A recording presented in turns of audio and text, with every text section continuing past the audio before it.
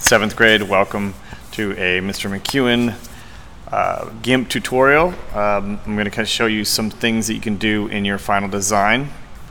Um, we did a lot of practice with GIMP, but um, I'm going to show you a, a few things kind of like in the redesign uh, photos so that you can kind of apply some of the things you learned in Criterion A. First thing is there's two different types of GIMP. There's GIMP 210, which is this black one. If you downloaded it from the inter, um, from the self-service, this is the old GIMP. Um, I would, I'd suggest downloading this one because it's a little faster. Um, it's got some improvements, but do you see how the icons are different? These are kind of symbols, and these have some color to it.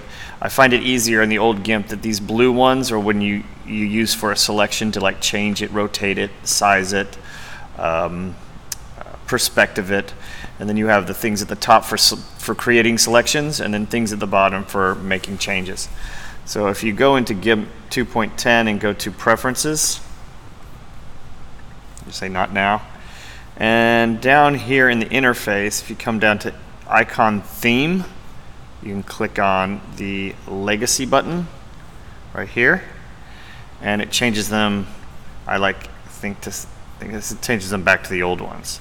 So then we'll just say OK, and then we will open this up. Okay, so here I've got an example of something that you probably will want to do. Um, let me just click on here. We've got um, a picture and we've got uh, something that I've added on here. I've removed a poster there. Oh, I can show you real quick. Boom, boom. So that's what it was before. So I've done two things to this so far. I've created a layer called remove poster and then I've added a tree in here.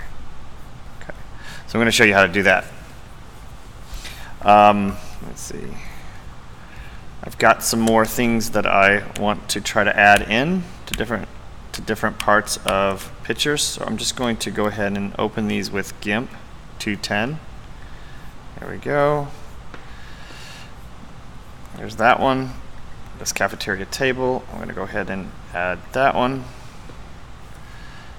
And I'm going to add the coffee bar. Control click or whatever you double double tap and open. So now I've got everything I need. Anything that I want to add into the picture, I've got it up here. I've got some symbols. I've got some actual pictures here that I can work around. Okay. Um, and they're ready to go. I'm basically have lots of files open. So let's take a look at this one. So I'm just going to leave these two on there, but I'm going to create a new layer to show you how I removed that poster. I'm going to call it remove poster. So I'm using a layer. I'm not drawing on the, the actual image here. So I had to flip between them to do different things. So here is the image. I'm going to use the clone tool. We did this quite a bit.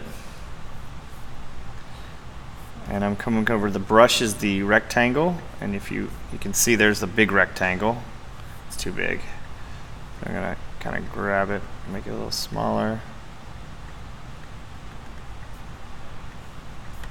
That's still too big. I'm just going to type it in. Let's go 200. That's pretty good. All right, so I'm going to clone an area here, which is really actually pretty good. Click here, control click, that sets the area, and then I click over on my remove poster, and I just swipe down. Not too bad for a quick remove. Hmm. I could be very much, I could be a lot more careful with this. But it's good for right now. I'm going to put something in front of it. I could also come back to the picture and say, oh, you know what? This is a, make this a little smaller. This is a better place to clone over here. Right. This side, I could clone like this set the space and yeah that color actually that color looks a little bit better okay mm -hmm. so I've, I I haven't actually removed anything from the main picture I just covered it up with another layer and this that's what the layer looks like so I can use these eyeballs to uh, see what I've changed I can use the smudge tool kind of to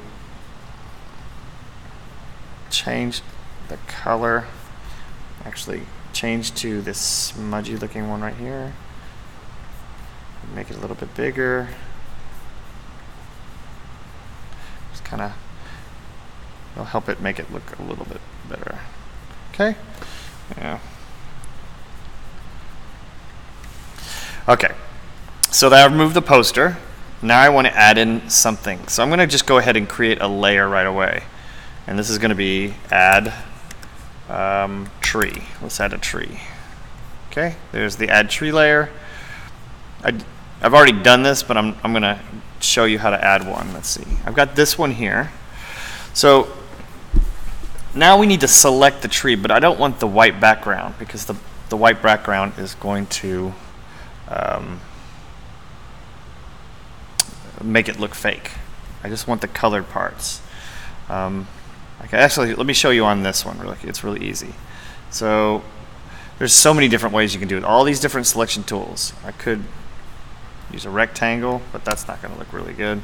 Select none. This select is very important when you need to deselect things. Uh, the fuzzy select, if you just click it, it it looked at it basically looked at the white and it has selected everything but the different colors. So the white is all selected. There's actually select by color too. So I'm going to edit none, select none, and then select by color. If I click on that, it thinks it did the same thing. It selected all the white. And if I actually just do command copy and command paste, look what happens. It pasted just the white into a floating layer. That's not what I want, so I'm going to back up. I'm going to go back to this. What I want is the black and the gray. So I want everything it didn't select. So come up to the select button and click invert. And what it does is it changes it's everything that wasn't selected is now selected, and everything that was selected is not selected. So now I can just do a command C, go back to my picture, command V, it's in a floating layer right there. It's sitting here. Okay, this is what I want to do. Uh, I want to move it. I want to change its perspective. I might want to make it bigger. This is what all these blue icons do. Okay, so here's the move icon. So if I click on that, I can move it around. Oops. Oops. Oops. Okay. I have to be very careful. I'm going to use um, Shift plus to get in closer. Okay. Because I have to grab it by the selection or it moves the whole whole thing. So Alright, so let me back out with minus. So those are not big enough, so I'm going to click on the scale tool, which is this one over here.